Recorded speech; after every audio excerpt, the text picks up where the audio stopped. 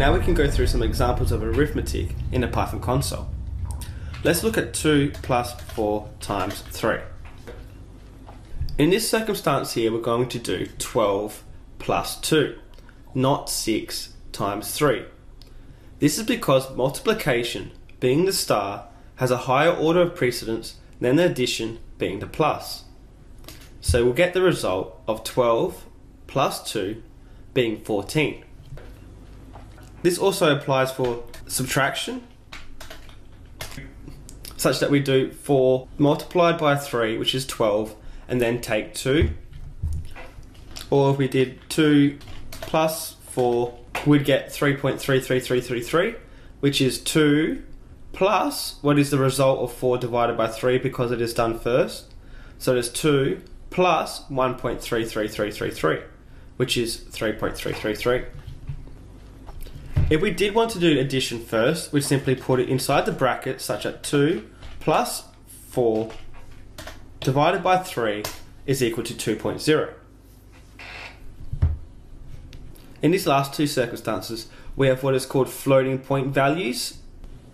These are simply just any values with decimal points, but it's what they are called in Python. Python does store these values different, so it's good to get used to using floating points and whole numbers being integers. So if we did want to convert it to an integer, we could use the int function being int, then in brackets, using two sets of brackets, remembering because we want 2 plus 4 to be done first. So now we'll get 2, which simply removes the decimal point, it does not round it off, because it's the int function.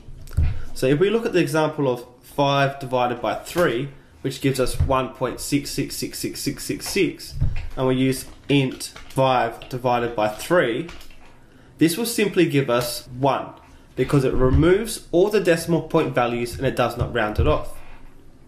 If we, however, did want to round off 5 divided by 3, we can get round 5 divided by 3, which is rounding off 1.6666 to the nearest value, which is 2. Though, something to remember in Python is that when you round values such that rounding off 5 divided by 2, you actually get 2, although 5 divided by 2 does equal 2.5. This is because when Python stores floating point numbers, it stores an approximation.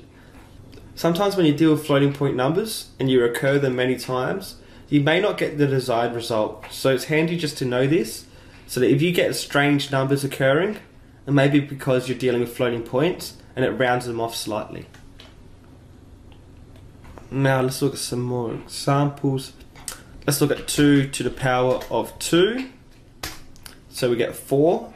So if we're doing to the power of, we use two multiplication symbols.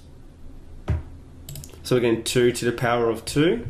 So 2 to the power of 3 will give you 8 and 2 to the power of 4, 16, 2 to the power of 5, 32.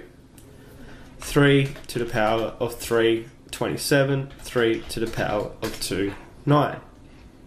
If we, however, wanted to do the square root of a number, we can do, say, 1000 to the power of 1 divided by 3. Now, as you can see here, as we said before, the expected result should be 10, but because of the way Python deals with floating point numbers, there is a slight rounding error, so we do not actually get the result we desired. Though we can round 1000 to the power of 1 divided by 3. Now in this circumstance we'll round it off to 10, which is the result we expected. So we did 100 to the power of 1 divided by 2, we'll get 10 which is the result we expect. So as we can see with the number 1000, we're getting the third root, the cube root. So we're doing 1000 to the power of 1 divided by the number we want to do the root of. And in the case of 100 here, we just want the square root, being the number 2. So we're doing 100 to the power of 1 divided by the number we want to do square root of.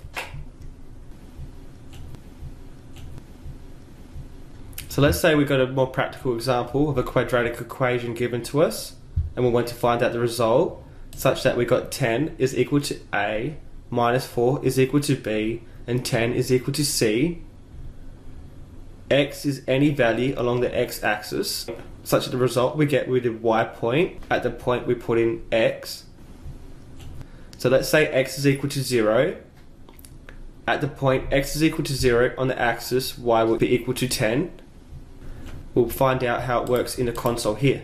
So we're going 10 times brackets 10 to the power of 2 because 10 is the variable we're putting in as x.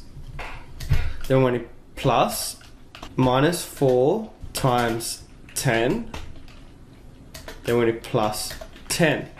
The result in this circumstance is 970. So we've put in, or we use a calculator, a graphics cal calculator if you want. You can calculate this. At the point where x is equal to 10, y is equal to 970. Let's say x is equal to 2. We'll go 10 multiplied by 2 to the power of 2 plus minus 4 times 2 plus 10. So at the point where x is equal to 2, y is equal to 42.